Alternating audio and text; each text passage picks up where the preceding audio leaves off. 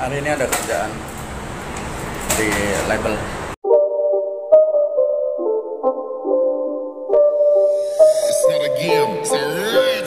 Assalamualaikum, saya Lesti. Untuk teman-teman semuanya Jangan lupa like, comment, and subscribe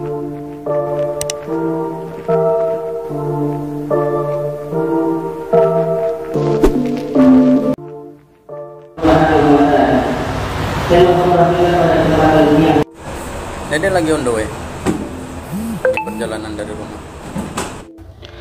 Jumpa lagi guys. Tentunya dengan kita masih dengan Lesti dan Bilar di hari ini di Jumat berkah ini. Ya Lesti ada kegiatan. Mau rekaman? Apakah ia ditemani oleh si doi kegiatan di hari ini di Lesti disampaikan oleh Ariel Lobster selaku road manager si.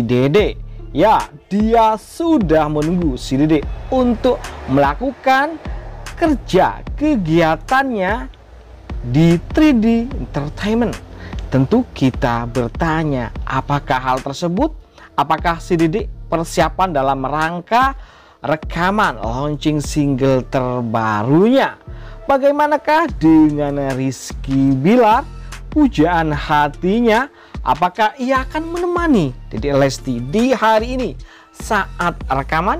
Bagaimana? Tentu sebagaimana disampaikan oleh Aril bahwa di hari ini Lesti dan Bilar punya kegiatan masing-masing.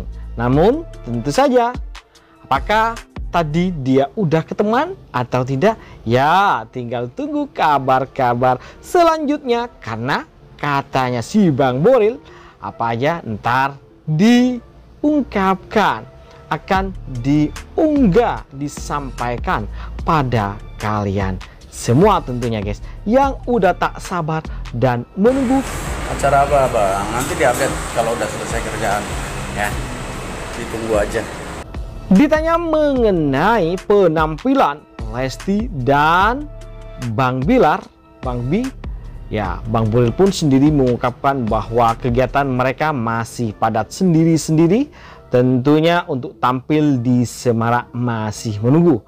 Insya Allah tanggal 25, tapi bukan 25 Februari guys. Seperti yang disampaikan 25 Maret. Apa itu ya tanggal apa? Apakah Semarak atau Lida guys? Kita masih bertanya-tanya. Tentu kita berharap apabila entar Lida memang benar-benar akan ya segera dimulai berharap bahwa hostnya salah satunya adalah Rizky Bilar.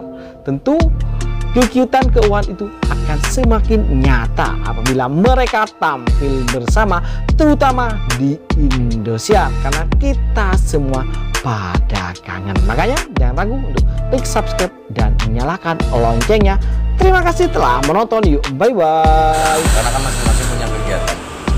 Kakak punya kegiatan sendiri, Dede punya sendiri. You kak. Siap.